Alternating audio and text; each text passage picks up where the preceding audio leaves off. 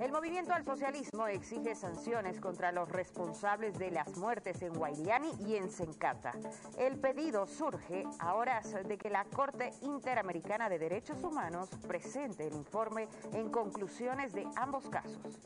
Lo único que rogamos a nuestro hermano presidente Lucho, a nuestras instancias correspondientes de que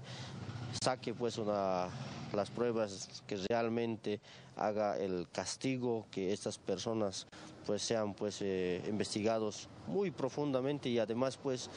estas personas merecen estar en la cárcel porque al final de cuentas ellos sin, sin piedad han ido contra nuestra población, contra nuestra gente más humilde, que en su momento es,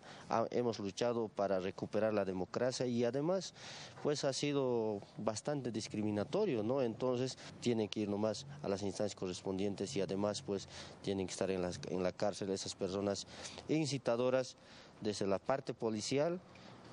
militares, ha habido personas motoqueros, algunos eh, políticos que también han encabezado esa lucha de golpismo que han pues humillado a nuestra sociedad, ¿no?